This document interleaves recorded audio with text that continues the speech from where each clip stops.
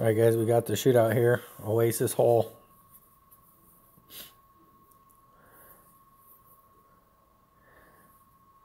This type of wind I'm not a, a real fan of.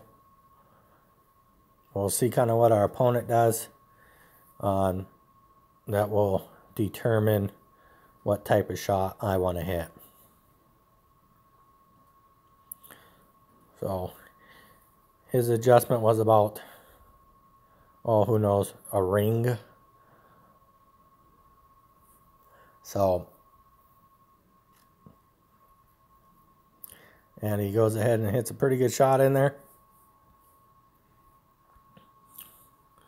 Well played. I didn't mean to hit get in the hole. I meant to play, I meant to hit well played. So six eight. We're gonna do this shot here for him. And I think what I'm going to do is about one and a half backspin. I'm going to leave that ball guide just about like that. And I'm going to have to curl this ball a little bit. And then I will play mid rings. So I'm going to play six rings. And I'm going to curl it to get it there.